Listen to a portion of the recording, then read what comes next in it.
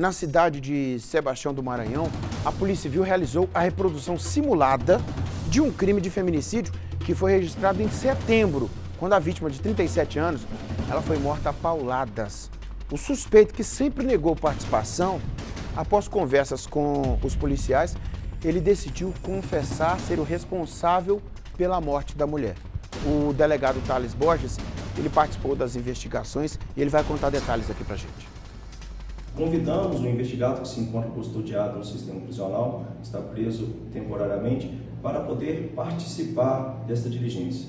Cientificamos a respeito de seus direitos constitucionais, dentre eles de construir, comunicar um advogado, de não eh, se autoincriminar, e mesmo assim ele decidiu participar. No local onde foi feita a reconstituição, após conversas eh, com o investigado, ele mudou o seu ânimo e resolveu confessar o crime.